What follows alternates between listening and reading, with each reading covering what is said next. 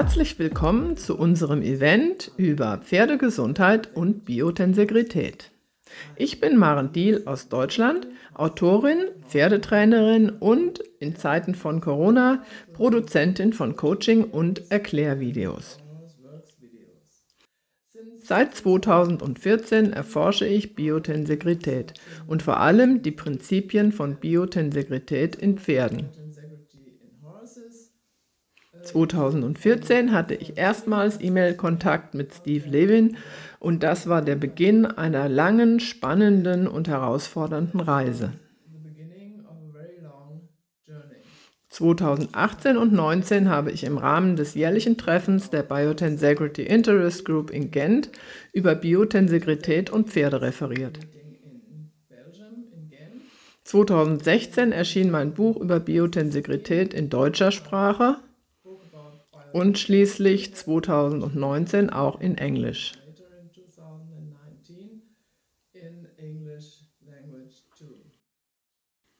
Inspiriert durch Steve Levins Statement, ich sei eine wahre Forscherin, und durch Susan Lowell des Solarsanos Kompliment, ich hätte das beste ihr bekannte Verständnis von Biotensegrität, wobei ich keine Kenntnis über die Vergleichsgruppe habe,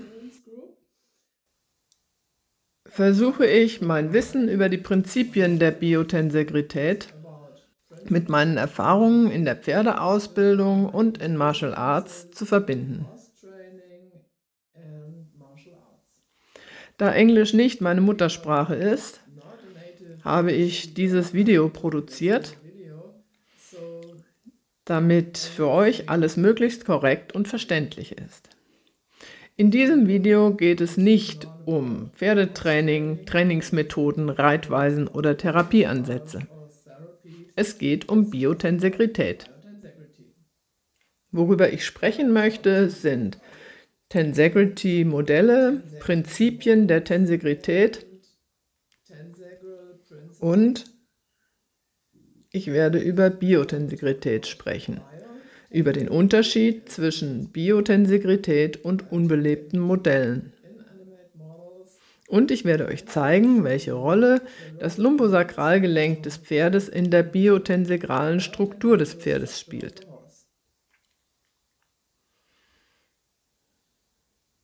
Fangen wir mit den Modellen an. Ich hoffe, dass ihr alle ein Modell zur Hand habt, da diese Modelle für das Verständnis von Tensegrität unerlässlich sind. Diese Modelle zeigen die Physik von Tensegrität und machen diese fühlbar. Sie lassen euch die Reaktionen tensegraler Strukturen sehen und fühlen. Ihr fühlt, wie die Kräfte durch die Strukturen weitergeleitet werden.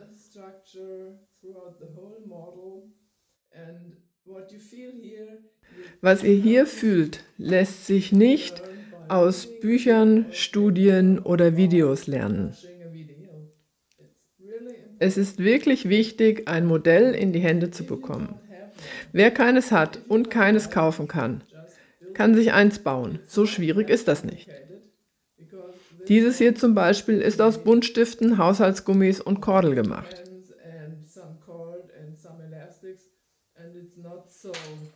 Ohne Werkzeug. Es ist nicht besonders stabil, aber es reicht, um zu fühlen, worum es geht. Was macht ein anständiges Modell aus? Ein anständiges Modell wie dieses Icosaeda,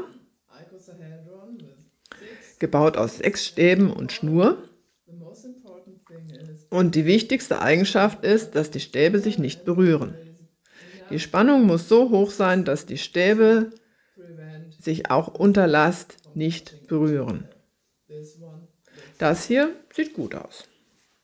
Ich vermute, dass ihr bereits einiges über Tensegrity wisst, wenn ihr es bis hierher geschafft habt.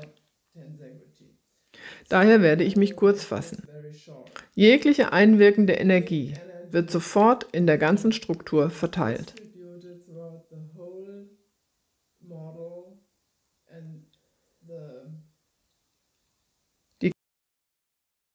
Die Kräfte sind an jedem Punkt des Modells die gleichen. Die Stäbe sind Kompressionselemente und die Schnüre Spannungselemente.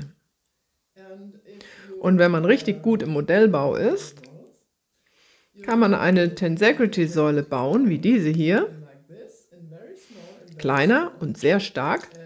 Und wenn man das gemacht hat, und es gibt Leute, die können das, kann man jeden Stab und jede Schnur in diesem Modell durch eine solche Säule in der passenden Größe ersetzen.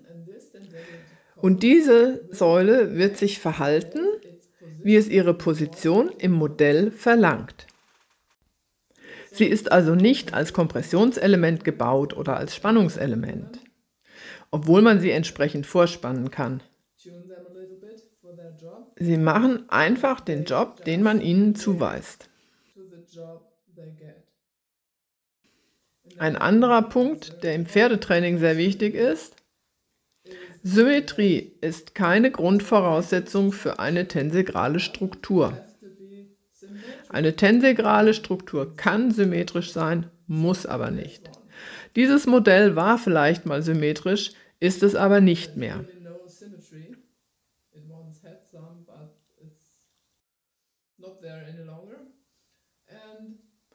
Es ist dennoch ein Tensegrity-Modell.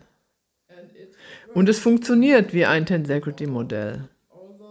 Auch wenn die Asymmetrie es in manche Richtungen belastbarer macht als in andere. Bei Tensegrity geht es nicht um Stäbe und Schnüre. Bei Tensegrität geht es um Volumen, um Kraftumlenkung, um Reaktionen und vor allem um Verhalten. Was eine tensegrale Struktur ausmacht, ist ihr Verhalten und ihre Interaktion mit der Umwelt. Man kann ein solches Modell wie einen Körper oder eine Kraft in einem Kräftediagramm betrachten. Die Struktur in sich folgt aber anderen Prinzipien, den Prinzipien von Tensegrität. Man darf das Geschehen innerhalb einer tensegralen Struktur nicht gleichsetzen mit ihrer Wirkung und ihrem Verhalten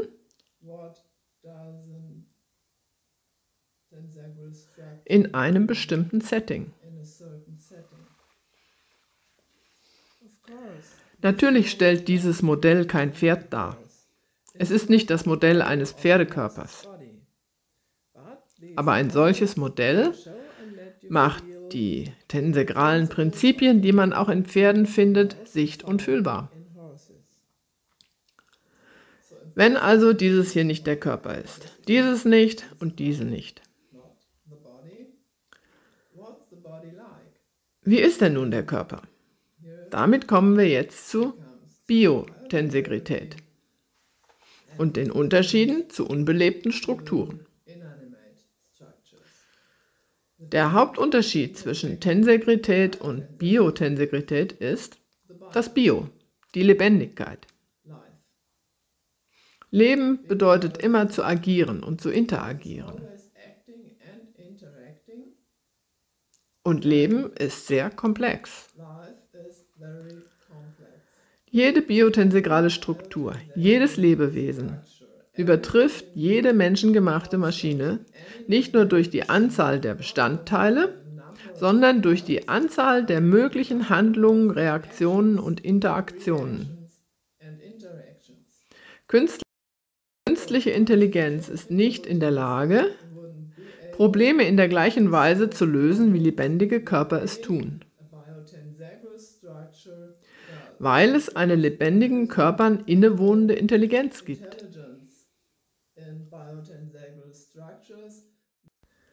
Der Begriff Morphologie stammt, wenn ich richtig recherchiert habe, von Johann Wolfgang von Goethe und ließe sich übersetzen als die Weisheit des Gewebes. Das wäre eine mögliche Übersetzung. Die Weisheit des Gewebes oder die Weisheit der Struktur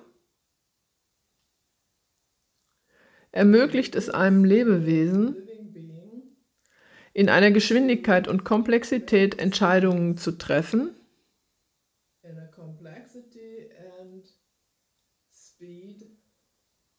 die für eine Maschine nicht möglich wäre. Lebewesen werden schneller, wenn die Anzahl der Probleme sich erhöht.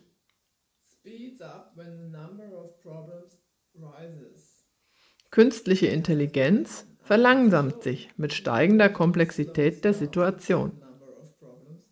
Das ist ein wesentlicher Unterschied. Lebewesen haben bestimmte Intentionen. Sie wollen mit ihrer Umgebung interagieren, möglichst überleben, sich selbst schützen und das alles in energiesparender, effizienter Weise.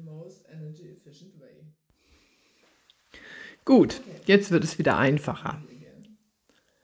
Dies ist ein 50 Gramm schweres Tensegrity-Modell. Und ich werde euch zeigen, wie stabil und belastbar es ist. Schauen wir uns das Video an. Showtime. Dies ist unser 50 Gramm schweres Modell. Auf einer bis 2,5 Kilo anzeigenden Küchenwaage und einer Korkplatte als Unterlage. Für ein Kilo Paket Mehl. Und noch eins. Und ein drittes.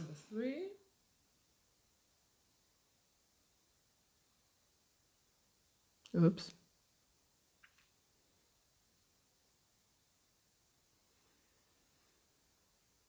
Und ein viertes Paket. Das Modell versucht dem Gewicht auszuweichen, aber ich lasse es nicht. Und Paket Nummer 5.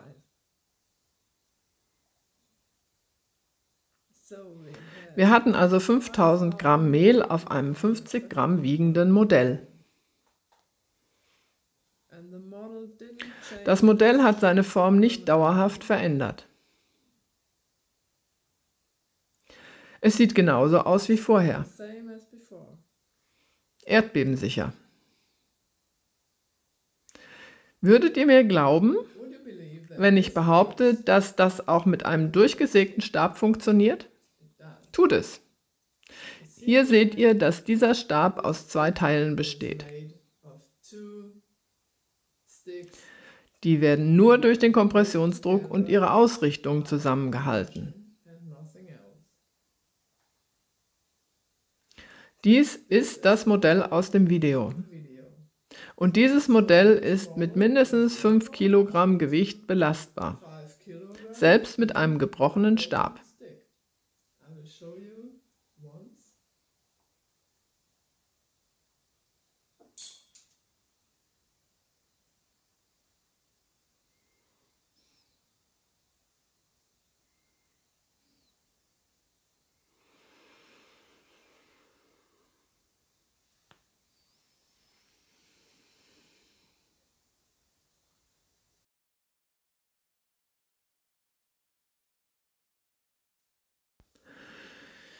So, was ist hier passiert? Was ist es jetzt? Hat es seine Tensegrität verloren? Nein, es ist immer noch ein Tensegrity-Modell. Es ist ein kaputtes Tensegrity-Modell, das den größten Teil seiner Belastbarkeit verloren hat und viele seiner Funktionen. Ein intaktes Tensegrity-Modell hat keine offenen Enden. Es ist aber dennoch ein wenig belastbar.